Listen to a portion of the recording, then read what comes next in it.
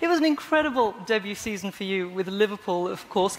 You broke the English Premier League goal scoring record 32 goals in a 38 game season, and you also, of course, reached your first Champions League final. As an Egyptian man playing at the very highest level, how much does your identity, your background, your nation's expectations, how much does that inspire you to be the best? Great. I mean, you do something for first time. No one has done it as Egyptian before. It's something great. It's something I have to be proud of.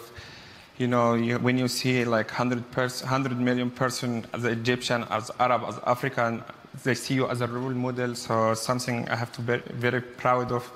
And something sometimes you feel pressure because of that, but something makes you also work hard and yeah, you do your job more and better, better and better. Yeah and better and better and better, as we've seen.